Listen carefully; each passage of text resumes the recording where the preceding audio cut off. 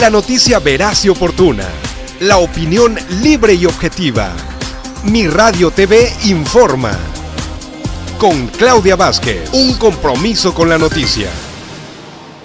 Este es un resumen de noticias en Grupo Mi Radio. Le damos a conocer que estuvo de nueva cuenta en Tamaulipas el secretario de Gobernación Miguel Ángel Osorio Chón y habló sobre el avance, lo que se ha logrado en 75 días después de haberse anunciado esta nueva estrategia en materia de seguridad. Vamos con esta información. Les informo que el secretario de Gobernación Miguel Ángel Osorio Chong y el gobernador Egidio Torre Cantú encabezaron en Nuevo Laredo la quinta reunión estrategia de seguridad Tamaulipas para evaluar los avances de la misma. El encargado de la política interior del país recordó que la coordinación que se ha logrado entre los tres niveles de gobierno ha favorecido a que la estrategia ofrezca resultados favorables para la población. La denuncia ciudadana al Gabinete de Seguridad del Gobierno de la República y por supuesto expresado por el gobernador del estado, nos ha dado la seguridad y nos tiene en gran satisfacción porque gracias a ella estamos a 75 días logrando el objetivo de devolverle la tranquilidad a este estado. Osorio Chong destacó que la colaboración de la población tamaulipeca ha sido fundamental. Por ello dijo, es indispensable continuar fomentando la cultura de la denuncia ciudadana a través del número 088, la cual ha dado ya muestras de resultados positivos. Hasta aquí con mi reporte. Bueno, pues ahí está esta información, la visita del Gabinete de Seguridad de Nueva Cuenta a Tamaulipas.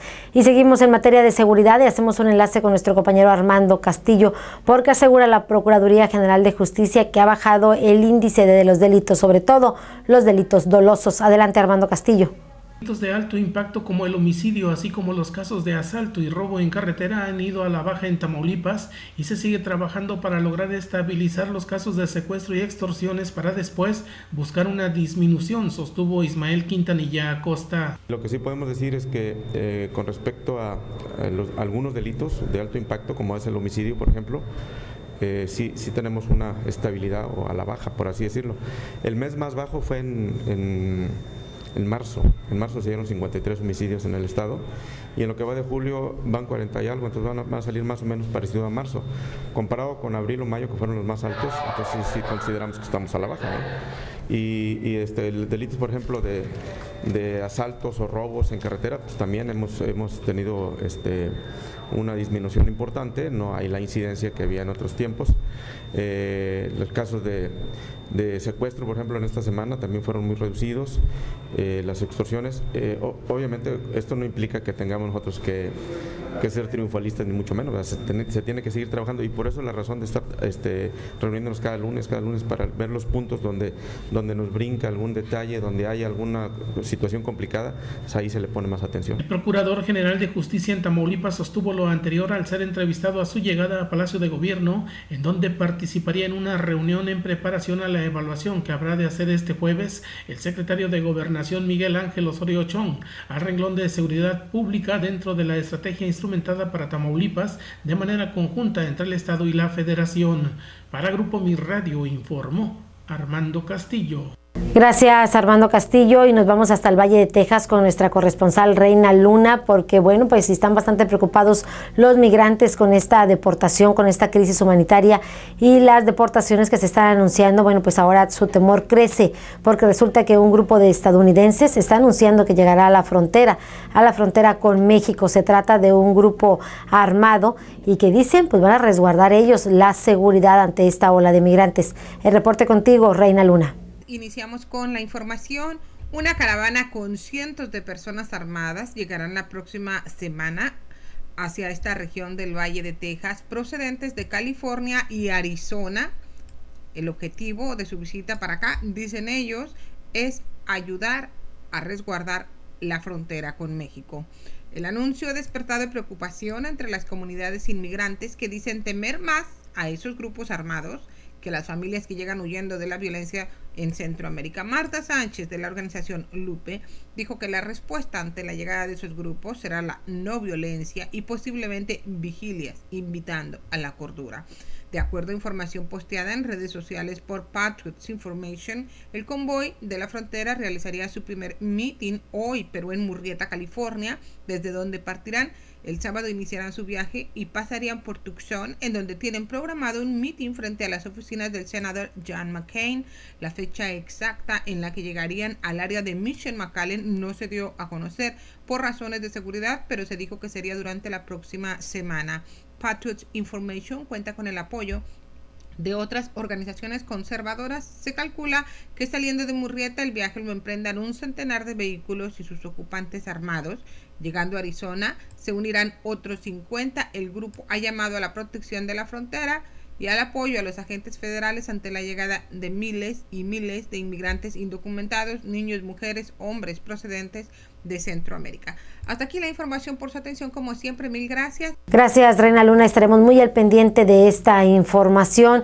Y ya para finalizar, hacemos enlace con nuestro compañero Jorge Gallegos hasta Matamoros, porque tal parece que, bueno, pues el gobierno municipal, panista ya de Matamoros, pues está retando prácticamente al fisco, prácticamente a la Secretaría de Hacienda, porque lleva a cabo y arrancó este viernes el programa de nacionalización de vehículos de procedencia extranjera. Esto se estuvo eh, platicando durante algunas eh, semanas antes y finalmente se llegó la fecha, el viernes primero de agosto, en donde de aquí hasta el próximo 31 se estarán pues realizando nacionalizaciones a bajo costo según el programa implementado por la presidencia municipal. Desde la mañana de este jueves ya se podrían apreciar las filas de las personas que estaban esperando una oportunidad de nacionalizar su vehículo ahí en el Auditorio Mundo Nuevo, que fue la segunda sede que se abrió para realizar estos trámites eh, en primera instancia. Se planeaba que fuera en la presidencia municipal, pero ante la posible cantidad de personas que pudieran acudir a realizar este trámite, podría rebasar eh, pues eh, los miles, se decidió abrir este este edificio alterno que finalmente se quedó ya para para realizar ese trámite como como sede. Entonces todas las personas están siendo canalizadas a ese a ese lugar. Bueno, gente que se quedó a pernoctar, gente que pues llevó su silla, gente que llevó sus cobijas porque quieren aprovechar pues este este programa. Esto se decidió finalmente al término de la trigésima primera sesión de Cabildo, en donde bueno la alcaldesa anunció que se decidiría que finalmente se fuera al Auditorio Mundo Nuevo por la capacidad que tiene, es un lugar muy amplio para recibir a todas estas personas, no solamente de, de aquí de la ciudad de Matamoros, sino también de otra región como Reynosa, Vallehermoso, San Fernando, incluso también de otros estados de la República. Bueno, la administración tributaria como ya lo comentabas también, eh, el SAT en el transcurso de la semana estuvo emitiendo pues algunos eh, boletines que pusieron un tanto eh, en duda o confundieron a la ciudadanía sobre si este recurso sería ilegal o no. Bueno, pues en torno a esto se dio a conocer en una conferencia de prensa ayer por la mañana, Raúl Quintanilla, el presidente de la Unión de Comerciantes de Autos Usados, dijo que, el SAT efectivamente tiene razón, no hay ningún programa de regularización de autos que él haya autorizado, eh, pero bueno, las importaciones siempre se han realizado y lo que hizo la presidencia municipal fue únicamente gestionar con las comercializadoras de esta, de esta ciudad, pues para que pudieran brindar este apoyo a los matamorenses y pudieran estar también así dentro de, de la legalidad. Entonces, bueno, hay confianza, con esto se crea pues la certidumbre, ya es un hecho, incluso eh, ya se comenzaron a nacionalizar algunos vehículos, entonces eh, pues ya no hay que especular, esto es una realidad y de el primero de agosto al 31 pues estará llevando a cabo esta esta nacionalización a bajo costo. Únicamente tiene que acudir con el título del vehículo, su credencial de lector, se le va a asignar eh, un día para que usted vaya después a la aduana a realizar el trámite